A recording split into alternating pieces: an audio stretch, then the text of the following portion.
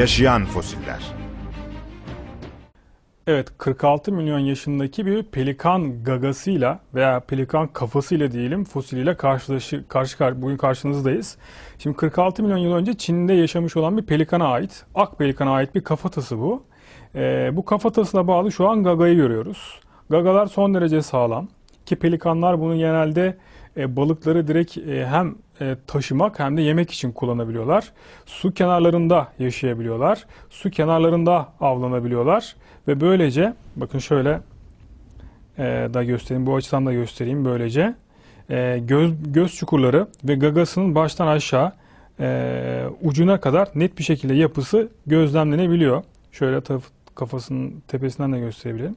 Şimdi bu fosilleri incelediğimizde bizim karşımıza en çok dikkati çeken gagası oluyor. Gaga'nın da evrim tarihinde evrimciler için çok büyük bir önemi var. O da şu. Charles Darwin ispinoz kuşlarını gözlemliyor Galapagos adasında ve Galapagos adasındaki ispinoz kuşlarına bakarak e, farklı ispinoz türlerine ait olan farklı gagaların zaman içinde değiştiğini, evrimleştiğini iddia ediyor. Yani kuşların gagasının e, kullanım şekillerine göre zaman içinde evrimleşebileceği, birinin diğerinden gelebileceğini, e, ortak bir atıdan değişerek gelebileceği ön yargısında, hezeyanında bulunuyor.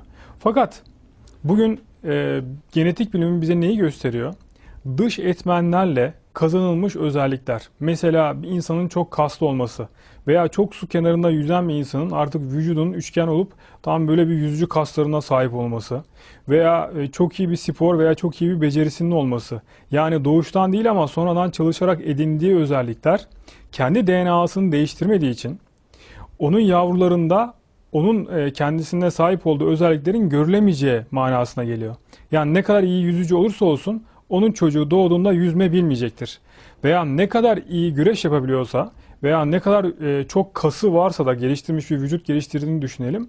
Ne yaparsa yapsın kendi çocuğu kendi DNA'sında ilk hali nasılsa çocuğu da aynen o şekilde olacaktır. Şimdi bu gaga pelikana ait ve pelikanda bu milyonlarca yıldır ki bu fosil 46 milyon yıldır aynı ne bir şekilde uzayıp daha böyle mesela sinek kuşu gibi ince ve nektar toplamaya yönelik bir hale geliyor.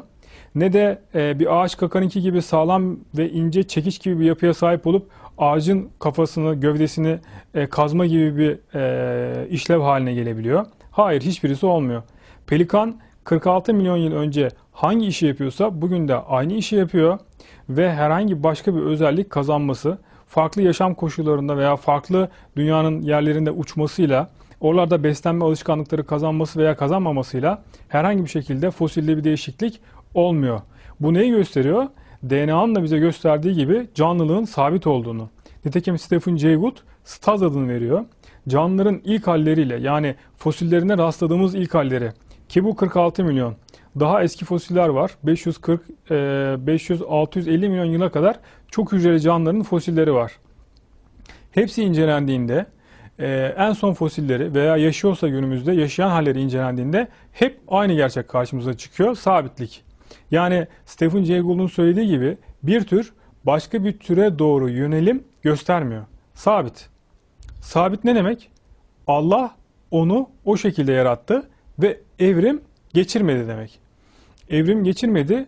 Allah onu öyle diledi ve o o şekilde var oldu ve hayatında da o şekilde devam etti. Bunu kim söylüyor? Bunu mesela bu 46 milyon yaşındaki pelikan fosili söylüyor. Bunu daha önceki fosillerimizdeki gibi onlarca, yüzlerce milyon yaşındaki binlerce, milyonlarca, milyarlarca fosil aynı şeyi söylüyor. Bizi Allah yarattı, biz hiçbir zaman evrimleşmedik diyorlar.